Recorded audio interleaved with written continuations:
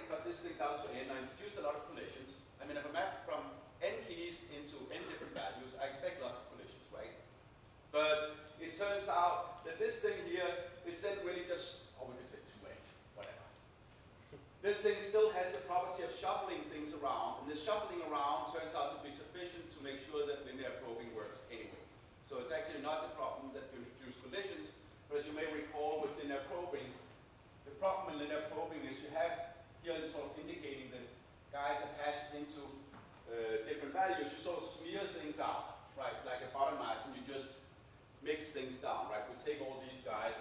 If this location was fixed, this guy has to go down here, and this guy has to go down here. If there are two up here, there might be one that has to go further ahead.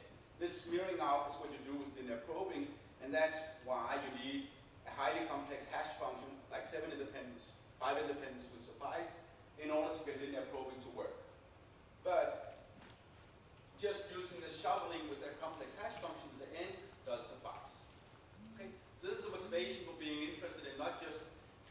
highly dependent hash functions. I mean, one thing is it's limited how independent hash functions we can get. Because your independence k, at least you need to store k random variables. So you don't want to have sort of unlimited independence. You just can't do that. But so the other point is just that you typically need this as a first step, and then you can focus all the complex hash functions on these much smaller domains. So typically you can assume you're just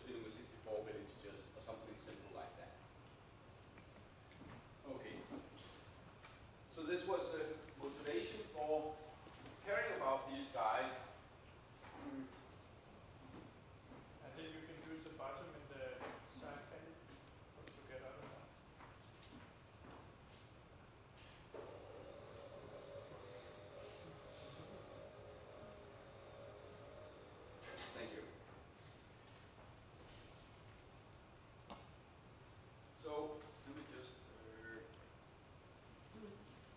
okay, so of course now I'm going to contradict Rasmus. Now I've done everything he said, and then he said something was fast. I'm going to argue maybe it's not so fast, and you can say it's in special words, but let me try anyway, right? So the typical situation we want here is that x is some w with integer. And w to be, I'm always thinking of this as sort of a word length, but it doesn't have to.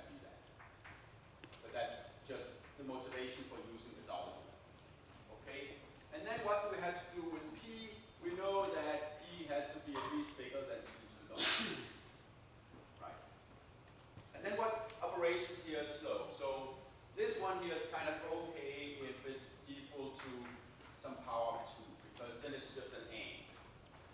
Okay, I should not mix it with the formula, let me put it down. So this part is okay. And as Rasmus pointed out, with this guy here, we typically want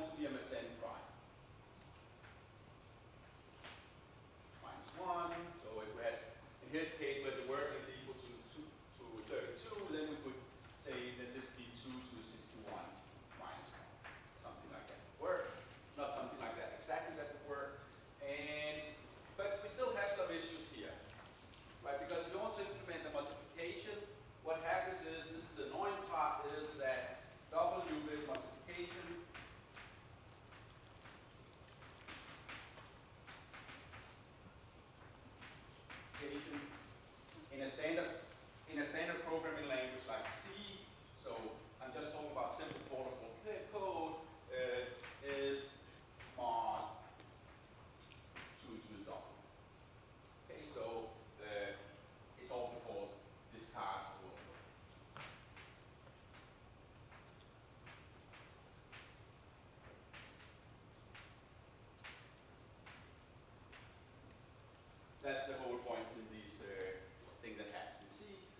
see US.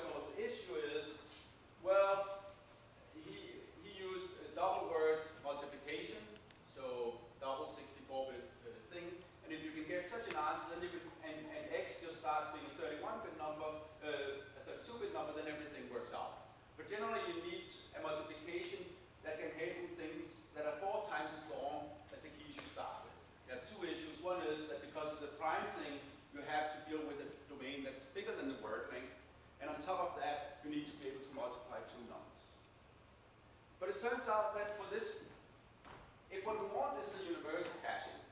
just local legislative probability. Then we had a much, much faster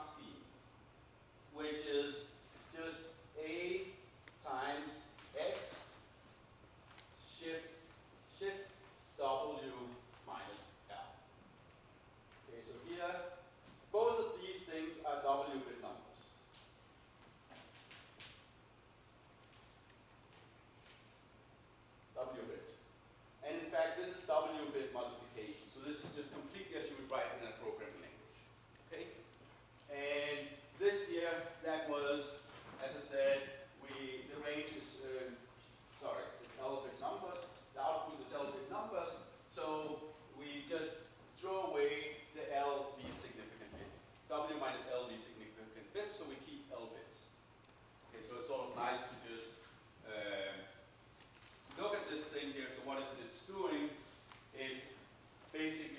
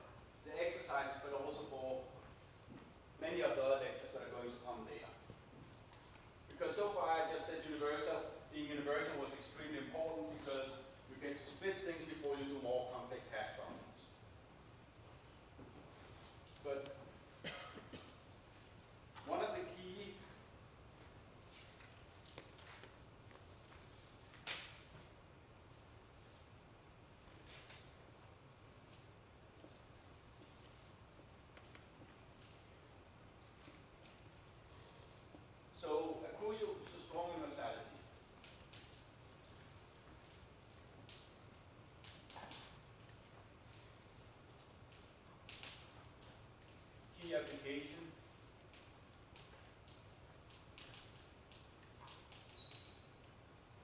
That's sampling.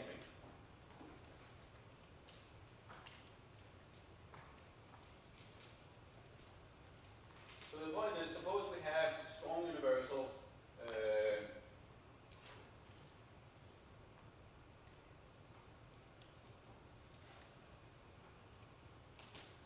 goes from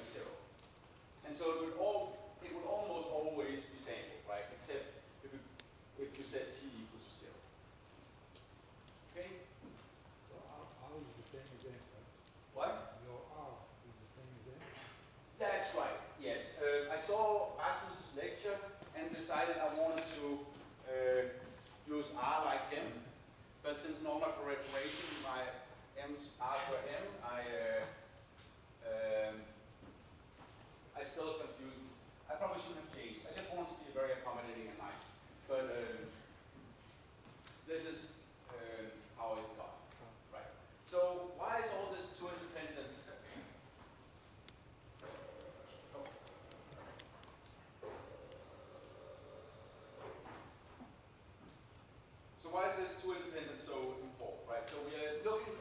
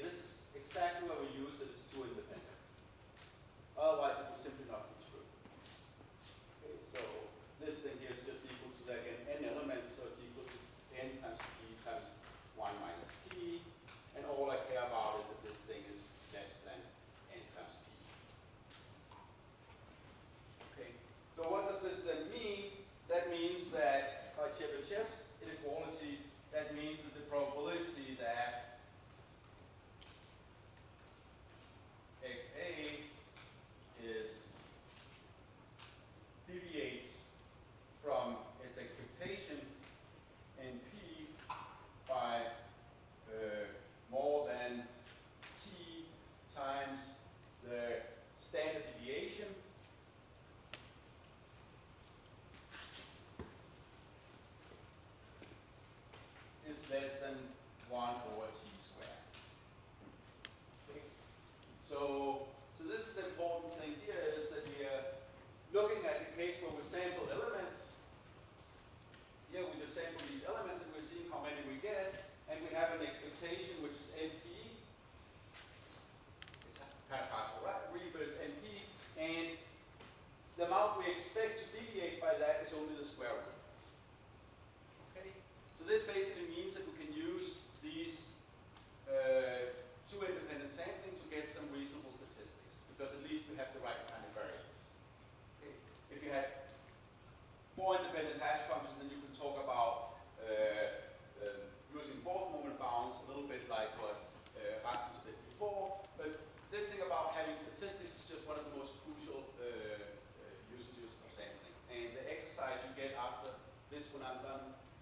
will uh, take you through a lot of uh, sampling here, doing some things, similarity estimation, stuff like that, that you do in connection with machine learning and things like that.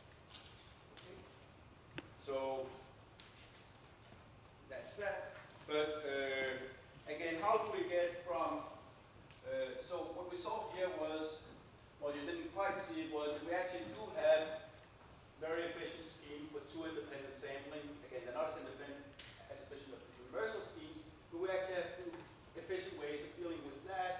dealing with W bit numbers, and if you have a machine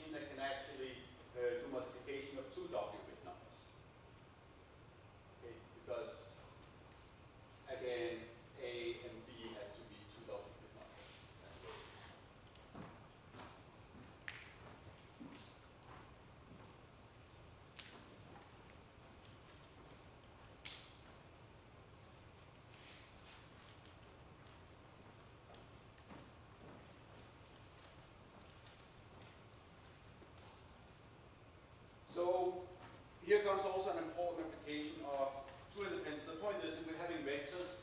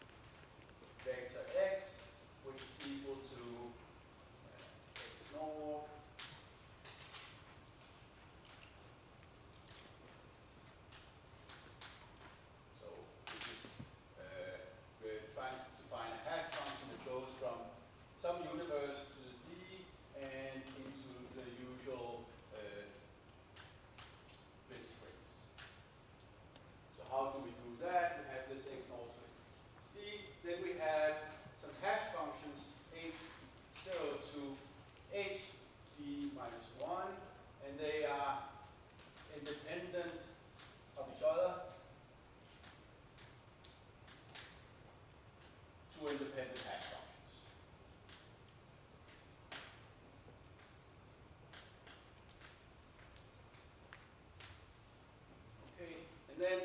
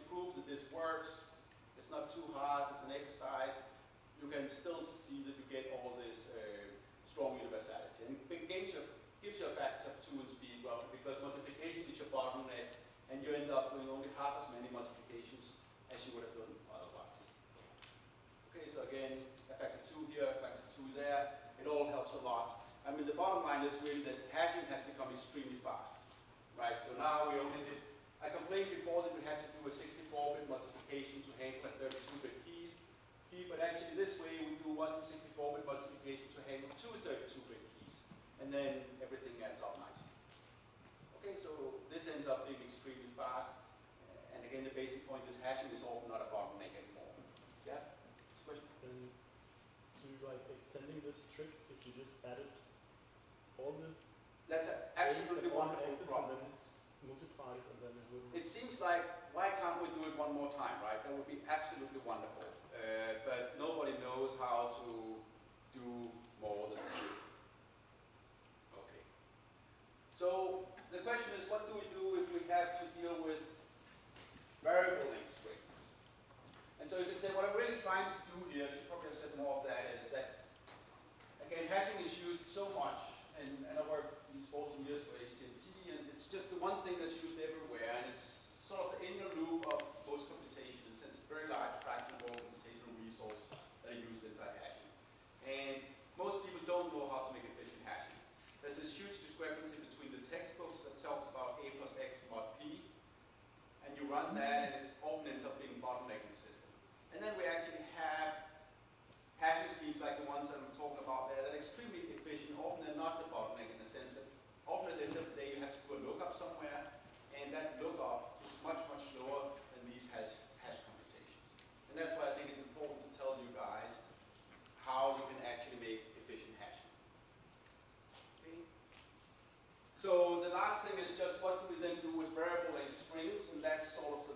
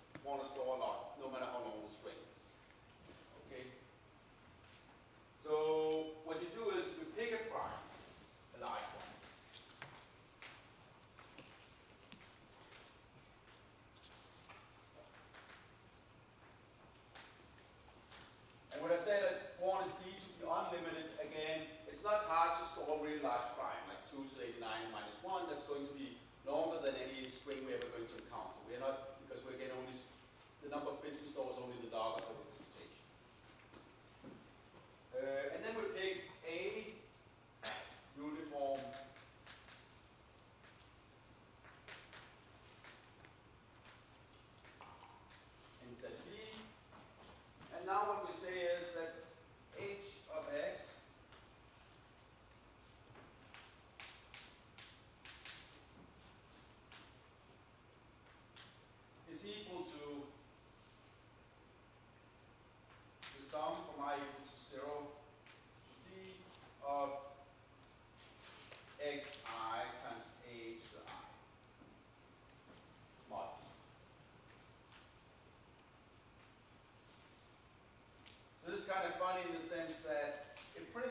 looks like